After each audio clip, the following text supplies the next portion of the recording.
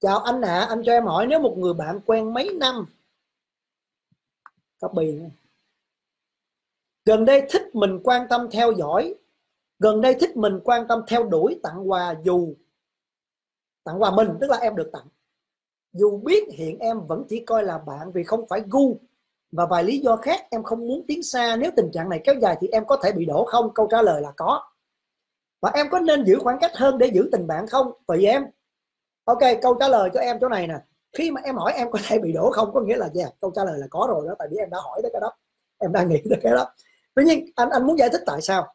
À, để cho em hiểu sâu hơn. Ở cái trong cái cấu trúc sinh học của người phụ nữ á, là cấu trúc sinh học để được chinh phục. Còn cấu trúc sinh học của người đàn ông là để đi chinh phục. Tức là em thấy cái xã hội này nó khớp một cái âm một cái dương. Thì nó đàn ông phụ nữ không bao giờ giống nhau nha. Giống nhau tức là dương dương là nghĩ dương dương không? Em tưởng tượng dương dương thì làm sao mà nó vô được hiểu không? Cho nên nó luôn là âm dương và âm dương là tốt đẹp là khớp và tất cả mọi thứ trên đời ánh sáng bóng tối đúng không? Ban ngày ban đêm ok?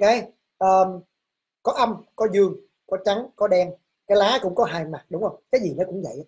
Và em thấy là cái đấng tạo hóa đã tạo ra cái điều đó và đó là đó là một cái điều tốt đẹp. Thế thì người đàn ông được tạo ra là để đi chinh phục và trong người anh ta được tạo ra tất cả mọi thứ để làm điều đó nếu như em hiểu một chút về cái, trong cái lớp đường trái tim trẻ, anh giải thích nhiều về những cái hormone, những cái neurotransmitter, tức là những cái nội tiết tố bên trong, người đàn ông và người phụ nữ, để dẫn tới cái hành vi họ khác nhau, để cho các bạn củng cố được một cái điều vững vàng. Bởi bạn nào học cái lớp đường trái tim trẻ thì bạn củng cố một cái điều rất quan trọng là đàn ông phải là cái đứa đi theo đuổi tại vì họ hiểu chính xác tại sao. Thì ở đây nè, đàn ông được tạo ra để đeo đuổi. Và đương nhiên, anh ta đeo đuổi không có nghĩa chắc chắn anh ta yêu là vì đấng tạo hóa là tạo ra cái con kia cái con được đeo đuổi nó hành xử. Mà nó hành xử như thế nào mà mày sẽ có cái cảm giác tương ứng. Okay. nhưng mà người phụ nữ là được cái gọi là thiết kế để được chinh phục. Tức là em có đủ mọi thứ để có thể được chinh phục. Có nghĩa là em có thể không có tình cảm một người đàn ông ban đầu. Nhưng nếu anh ta, đây là nhân nha. Nhưng nếu anh ta đeo đuổi một cách quyết liệt và anh mở ngặt cái chữ quyết liệt này, tức là một số bạn nữ vẫn có thể nghĩ là em cỡ nào thằng cha này cũng không đến được với em nhưng mà anh mở ngoặt chữ quyết liệt, tức là có những người đàn ông sẽ làm tới cái mức này nè. Thay đổi bản thân họ. Thành đạt hơn trong xã hội, thành đạt hơn trong nghề nghiệp, thành đạt hơn về tài chính, thậm chí thay đổi cả cái con người bên ngoài luôn. Họ có thể trở thành chuẩn mực hơn, chỉnh chu hơn, thậm chí ăn mặc đẹp hơn, thậm chí họ có thể bỏ cả từ người nặng 100 kg thành người nặng 70 kg đúng cân luôn. Tức là họ có thể thay đổi cách quyết liệt. Thì nếu như họ làm được tới mức quyết liệt đó, thì tương ứng bên đây thôi giả sử em cực kỳ khó chinh phục em hoàn toàn không có cảm xúc gì hết. Nhưng mà ở mức độ thay đổi quyết liệt đó em vẫn có thể bị chinh phục. Tức là ở trong tình huống cực đoan là em không ưa cha này luôn. Anh giả sử cha hàng xóm của em đây ngày xưa có ngọn trúc đẹp đây dùng cha hàng xóm. Thằng cha hàng xóm đó là một cái thằng cha mà đầu hói. Anh tả rồi ha trán bóng từ ót lên tới đây. Nhưng mà bên đây có một mớ tóc trải qua. Được có chừng vài chục cộng nó trải qua tại sao? Để cố gắng nhìn nó đen đen ở giữa cho đỡ già mập lùn à, bụng phệ à, người chảy mở ra. À, nói chuyện thì vô duyên. Vô duyên tại sao? Vô duyên không phải là tại vì chả không rành tiếng việt. Anh chả cứ là ngộ để ngộ lấy cho cô nghe. Ngộ có tình cảm với em mà em thì đối xử với ngộ tệ quá. Ngộ không biết phải làm sao để cho em yêu ngộ đây. Đó giả sử vậy đó. Anh chả nói cái tiếng mà em nghe bực mình không ưa cha này được. Rồi cha hay dắt chó qua nhà em. Ok ờ, sáng ra cái nó tiểu một cái ngay trước cửa nhà đó anh giả sử cha làm sao đó mà bây giờ anh giả sử cha thay đổi quyết liệt nha. Đương nhiên cái chuyện này nó rất là khó. Nhưng mà anh đưa từ một cái cảm xúc không ưa cha này mà không nhìn mặt cha nhưng mà giả sử nha cha về bây giờ trả đi trồng tóc. Trả nói ok ngộ tiếc là ngộ hói á, nhưng mà ngộ đi trồng tóc. Ngộ mới anh ta bắt đầu mới đi tới một cái uh, giả sử như là uh, uh, bệnh viện đông á. À, đông á nam á quên bà đường nguyễn trãi. À, giống như quảng cáo cho các bạn. Ơi cái này không phải quảng cáo nè.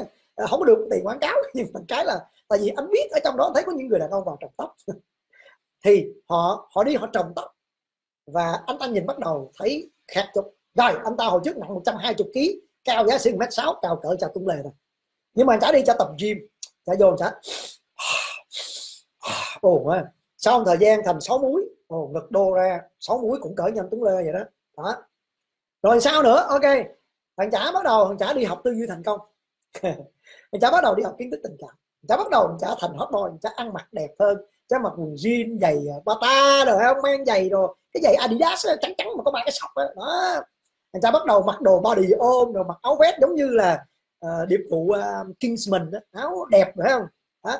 rồi uh, cái tiệm tuxedo có bán có cái tiệm tuxedo trên cái đường nào như võ thị sáu á. Của Adam may cái áo cũng cũng khá đẹp. Thằng cháu bắt đầu tút lại nguyên con người cho thay đổi cái tư duy lần sau qua chả nói chuyện với em với em bằng giọng việt.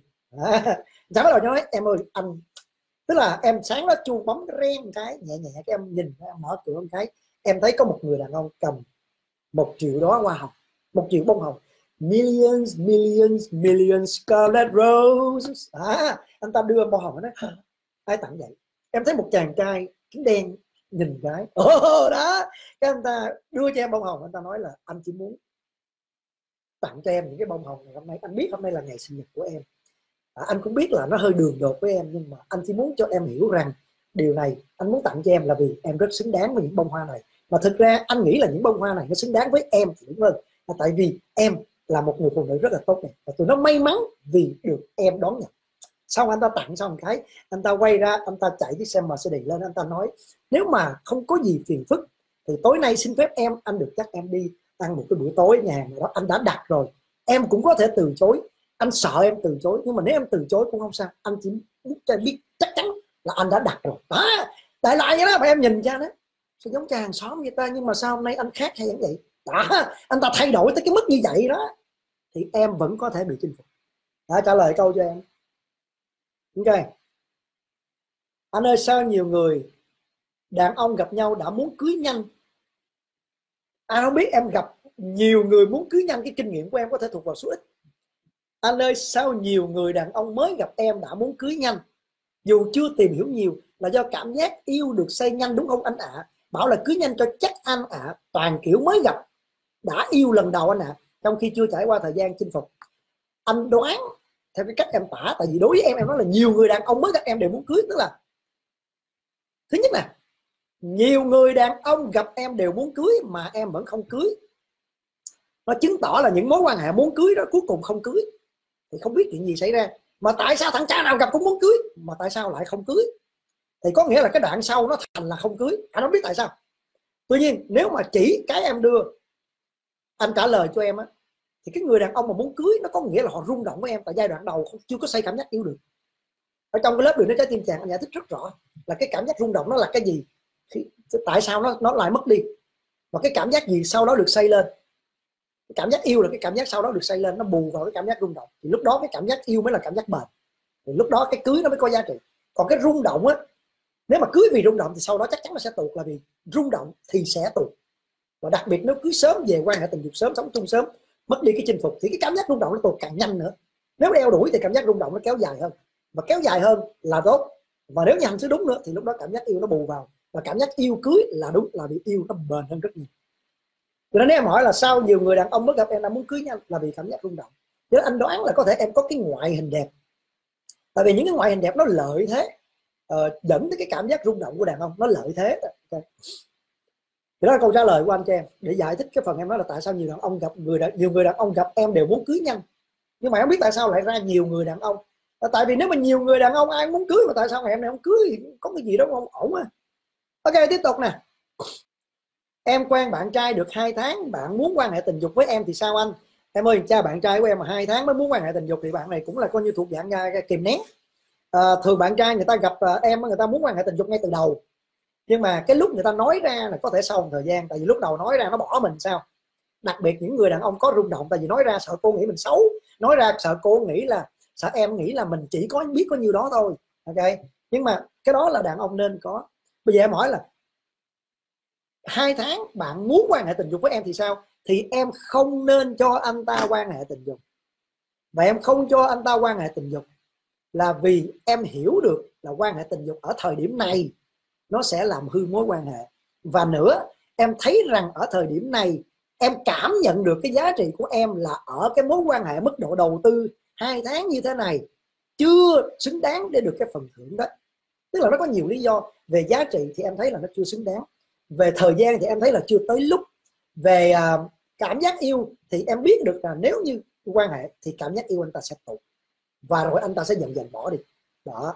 Tức là ở tất cả các phương diện em đều biết và đều làm đúng thì em thấy nó khóc hết nếu bạn coi cái video này tới đây mà thấy có giá trị á thì bạn nhớ bấm vào cái nút màu đỏ là nút đăng ký kênh. Còn ở tiếng anh đó là chữ subscribe. Sau đó nó hiện ra cái chuông bấm vô cái chuông luôn mỗi lần có video mới, bạn sẽ được báo. Hẹn gặp lại các bạn ở những video sau nữa. Bye bye.